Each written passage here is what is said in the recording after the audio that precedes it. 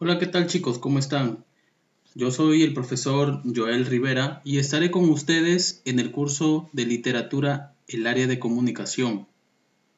Evaluaré la competencia, lee diferentes o diversos tipos de texto escritos en su lengua materna.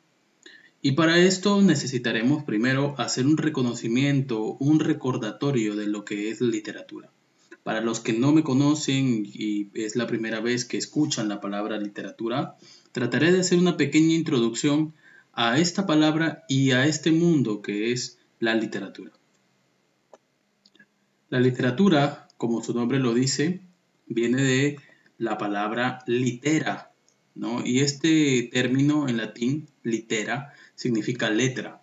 Entonces, la literatura está íntimamente vinculada con todo material escrito, con todo material escrito. Ahora, nosotros necesitamos ir un poco atrás en el tiempo para conocer los inicios, el origen y la evolución de la literatura.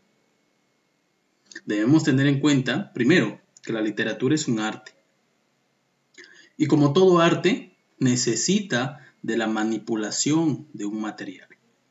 Por ejemplo, en la pintura necesitamos nosotros echar mano o utilizar un material, la manipulación de las técnicas de dibujo, del trazo, pinceles y demás implementos que hacen posible la creación de obras de arte. Ahora, del mismo modo, la literatura necesita del lenguaje, es decir, de la palabra para nosotros. Ese es el material que utilizaremos en la literatura para hacer estas obras de arte, es decir, obras literarias, historias que perduran en el tiempo.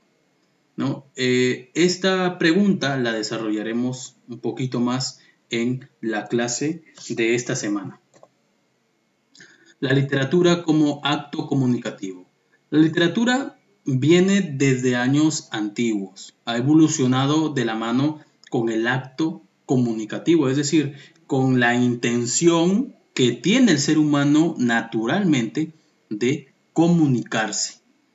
Es decir, esta ha estado inherente siempre, siempre. Es decir, es parte del ser humano.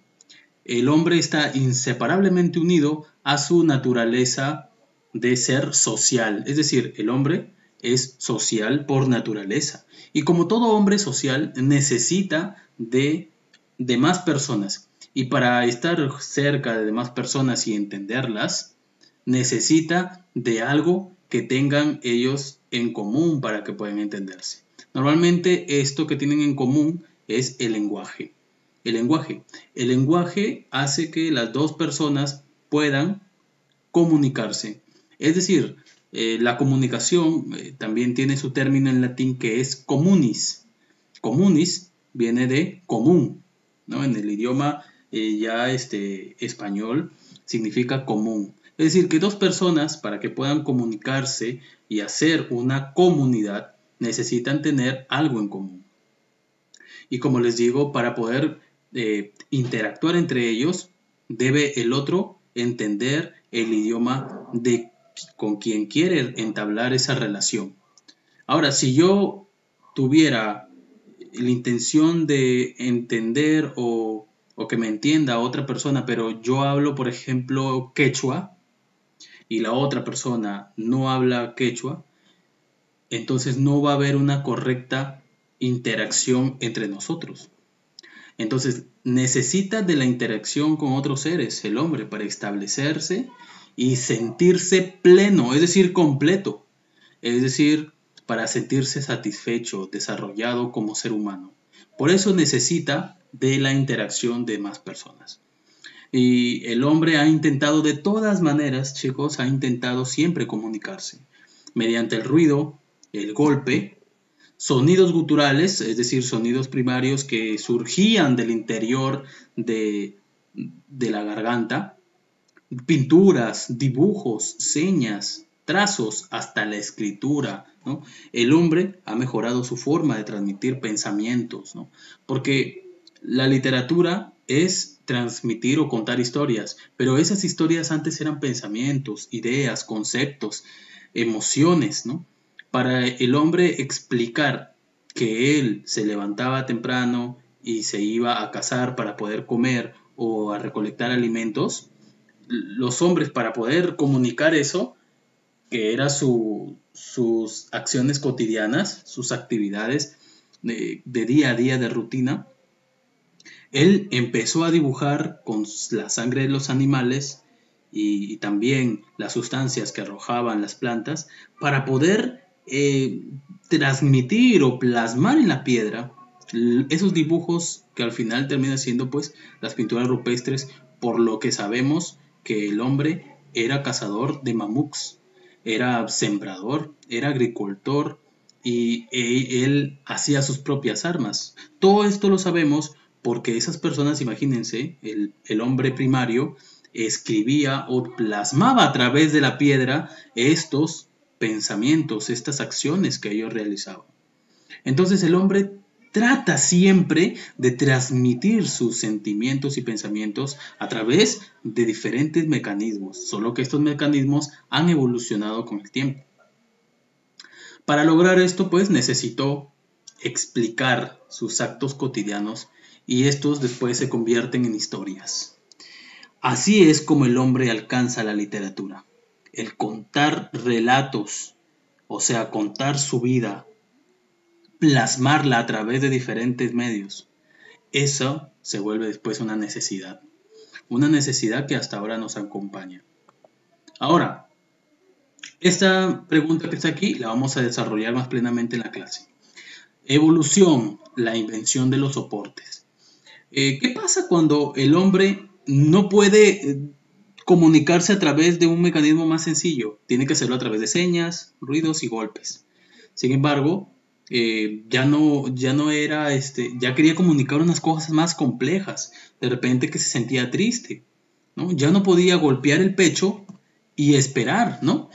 Haciendo esto y esperar que la gente entienda que está triste o molesto. No, ya tenía que él explicar de otra forma sus sentimientos.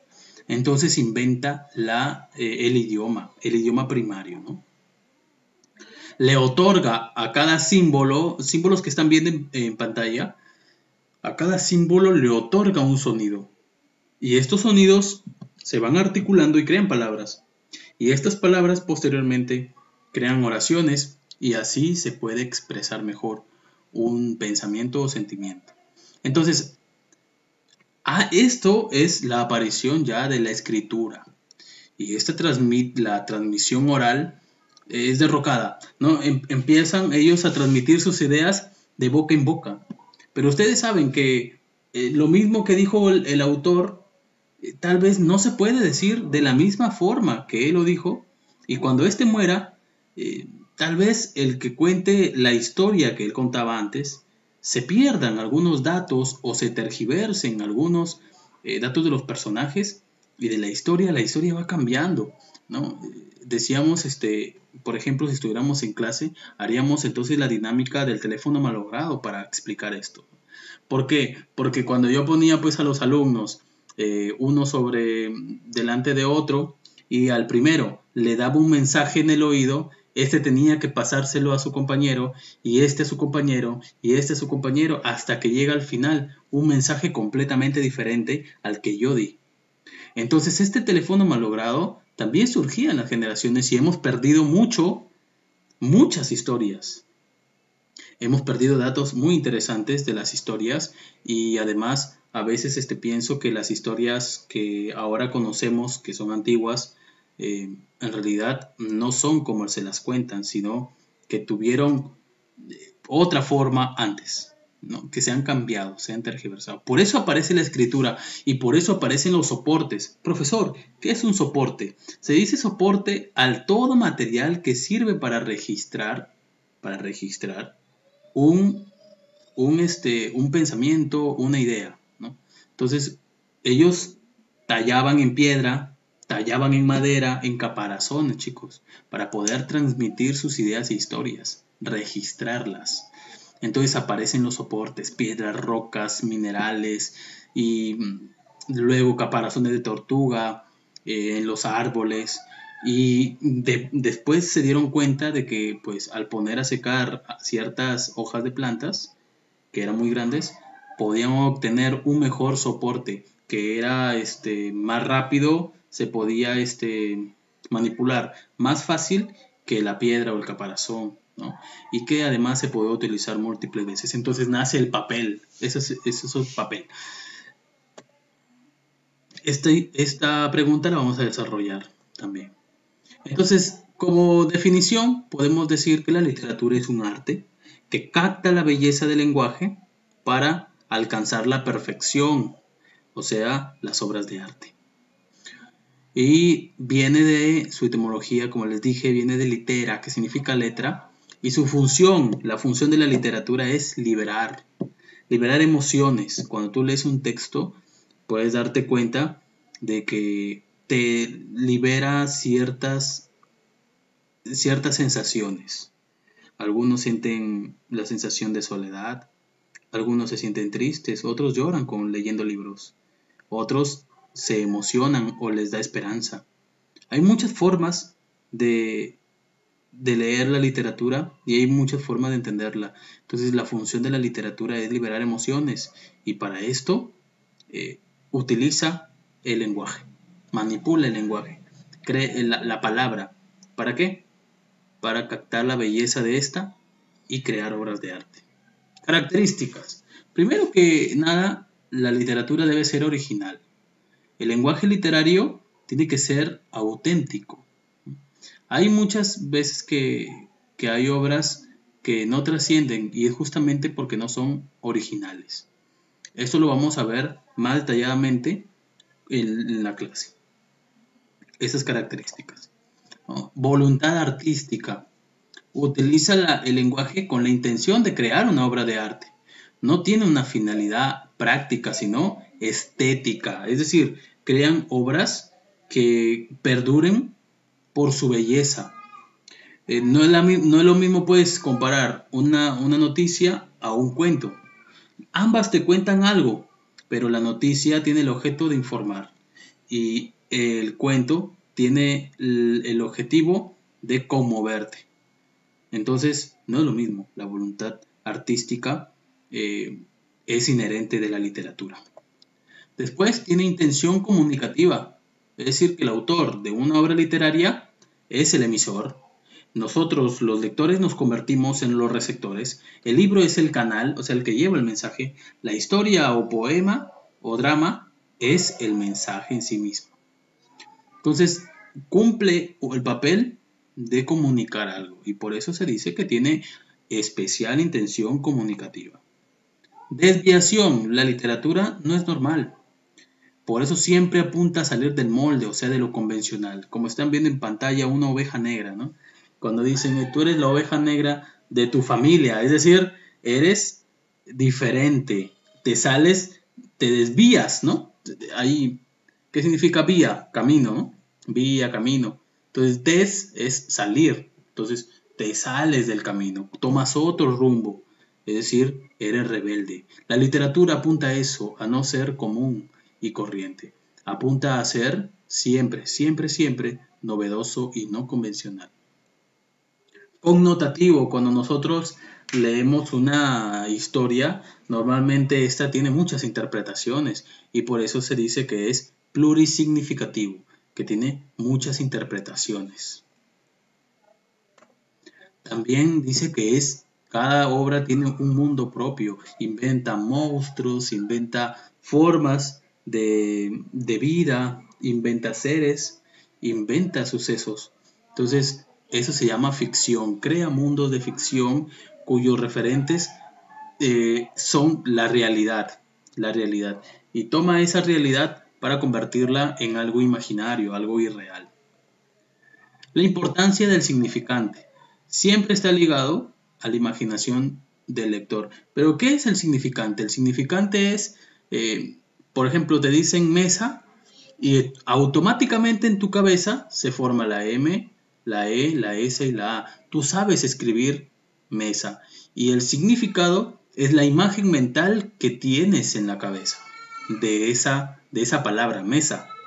Entonces, algunos tendrán la forma de esta mesa, que es cuadrada, color marrón de cuatro patas, otros la tendrán, tendrán en la cabeza una mesa color eh, blanca, redonda, otros tendrán en la cabeza una imagen de una mesa eh, negra, alargada, rectangular, ¿no? Entonces, eh, este, este significante y significado depende mucho de la persona, y por último, la función poética. La belleza del lenguaje es necesaria para la creación de una obra de arte. Utiliza mucho la poesía, la belleza del lenguaje para crear obras de arte. Bueno chicos, esto ha sido todo la teoría de, de esta semana. Espero pues que hayan entendido. Si no han entendido alguna parte, pueden repetir el vídeo cuantas veces quieran. Y si no captan aún la intención de la clase, pueden hacerme las preguntas debidas a través de la plataforma Educai, como el año pasado. Muchas gracias por haber visto este vídeo, espero que les haya servido. Nos vemos en la clase para ampliar los conocimientos sobre estos datos. Muchas gracias y cuídense mucho.